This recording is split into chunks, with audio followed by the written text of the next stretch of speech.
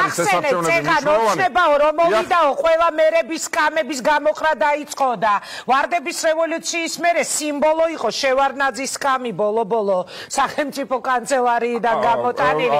ასე რომ ეს ყველა ხელისუფლებაში მოსული პოლიტიკური ძალის თანამდებია. პატარა რეპლიკა დრო აღარ გვაქვს გიგი და ბატონო უბრალოდ მაშინ თუ შეიძლება დაუბრუნდებიან ამ რეპლიკას ღმა პატივიცემის მიუხედავად ვერ დაგეთანხმები ფუნდამენტურ განსხვავებაზე ლაპარაკობ. ჩვენ ვსაუბრობთ მაშინ რევოლუციაზე და რევოლუციის შემდეგ შეცულ შევარდნაძეზე, ანუ პრეზიდენტზე და აქ ჩვენ ვსაუბრობთ არჩევნების გზით მოსულ ხელისუფლებაზე, რომელმაც მოიგო საპარლამენტო არჩევნები. არანაირი საქმე არ ქონდა ქართულ ოცნებას, რომ დაერია თვითმმართველობებს, რომელიც 2014-მდე იყო არჩეული.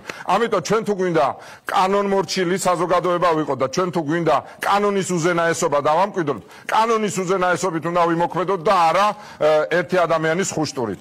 ინსტიტუტებს უნდა ვცეთ პატივი. რამდენადაც მიუღებელი არ უნდა იყოს ჩემთვის დღეს აქაური მერები და გამგებლები, აქაური უმრავლესობა, მე გავიმარჯვებ და მომიწევს მათთან ურთიერთობა. მე მომიწევს და ხალხის სახელით, ხალხის გულისთვის მე შევძლებ და დავიყოლიო იმ ცვლილებებზე, რაც აუცილებელია დღეს ვანის და ხონისთვის. მაგრამ ეს რა თქმა უნდა არ უნდა მოხდეს იმით, რომ ვიღაცის კარს გადმოვაგდებთ კარები იმიდან, რა ქვია, ფანჯრიდან. იმიტომ რომ თუ ჩვენ გვინდა განვითარდეთ, უნდა განვითარდეთ. სხვა შემთხვევაში ვიტრიალებთ წრეზე. ამიტომ ფუნდამენტური განსხვავება ინგა იმ შემთხვევაში და ამ შემთხვევაში შორის. კარგი და ძალიან მოკლედ უნდა მითხრათ, აი რაღაც უცნაურ ფონზე გხედავთ უკან ბოსტანია თუ არ ვიცი, ვენახი და თბილისის მერობა ჯობდა და შარდენიან განათებული ხიდი თქვენთვის პოლიტიკოსის როლში თუ ეხა ბოსტანში როზიხათ, არ ვიცი საიდან მეთქვებით, წვანე უკან ხეებს ხედავ და ამიტომ გამიჩნდა ეს კითხვა. აა თბილისი ჩემი ჩემს ყველაფერია ბუნებრივია, მაგრამ ის საქმიანობა 10 წელი თითქმის ვიყავი მე თბილისის მერი. და მე ვთვლი რომ თბილისელების განსასაჯია მე კარგი მერი ვიყავი თუ ცუდი, მაგრამ თავარი არის ის რომ ჩემთვის ცხოვრების ეს ეტაპი უკვე დასრულებულია.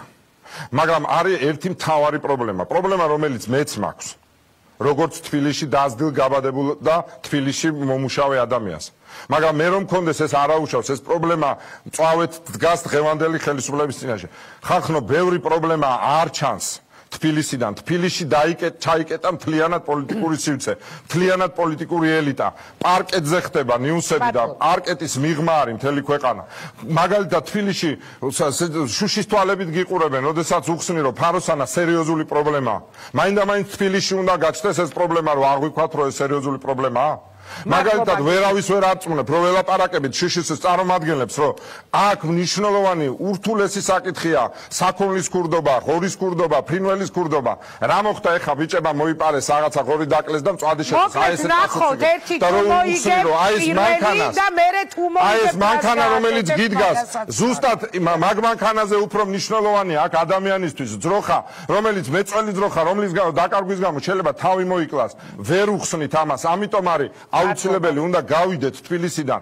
ხალხს უდიდესი პრობლემები აქვს და უნდა ჩავხედოთ ამას ყველაფერს თვალში გინდა ოპოზიციაში იყო და გინდა ხელისუფლებაში. ხელისუფლების უბრალოდ ეს მოვალეობა ხელისუფლების მოვალეობა რომელიც მოწყდა საერთოდ ყველანაირ რეალობას მარტო სამი ქუჩის იქით აღარ იყურება ხელისუფლება და ეს სერიოზული პრობლემაა სწორედ ამიტომ ჩემ მე საკუთარ თავში რომ ხედავდი პრობლემას სწორედ ამიტომაც გადავდგი ის ნაბიჯი და ვარ ბედნიერი უამრავი საინტერესო ადამიანი ვიხილე უამრავ ადამიანი გავიცანე აბსოლუტურად ბევრ რამეზეც აბსოლუტურად თვალი გამეხილა და სხვანაირად უყურებ. რატომ? იმიტომ რომ აქ შესაძლებლობა რეალური ცხოვრება ვნახო. ცხოვრებას რომელსაც ხშირად პოლიტიკოსებიც ჟურნალისტებიც მსახიობებიც ყველანი გაურბივართ. არადა ეს ცხოვრება აქ არის და ჩვენ წინ არის და ეს ცხოვრება თავს მაინც იჩეს. ამიტომ არის მნიშვნელოვანი რომ ჩვენ გავახილოთ თვალი ჩავხედოთ ამ პრობლემებს და დავიწყოთ ამ პრობლემების მოგვარება.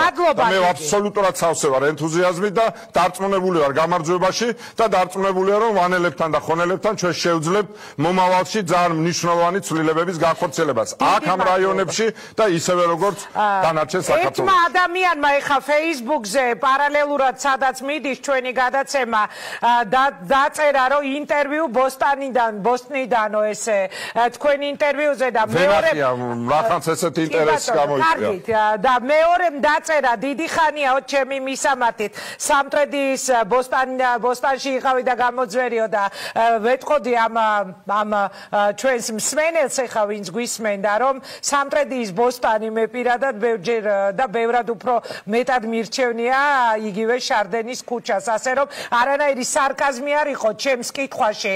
დედაქალაქის ყოფილი მერის უბრალოდ დამაინტერესა ნამდვილად რომელი ფონი მოსწონს მას თავისი პოლიტიკური პოზიცია მადლობა დიდი. ინგა მე დარწმუნებული ვიყავი რომ სხვა ალუზიას გამოიწევდა. ეთერს მიღმა გეტყვი კარგით წარმატებები მოკლედ დაველოდებით ამ არჩევნების შედეგებს ეს ბევრ ამეს აჩვენებს. ერთგვარი ტესტი იქნება ბატონ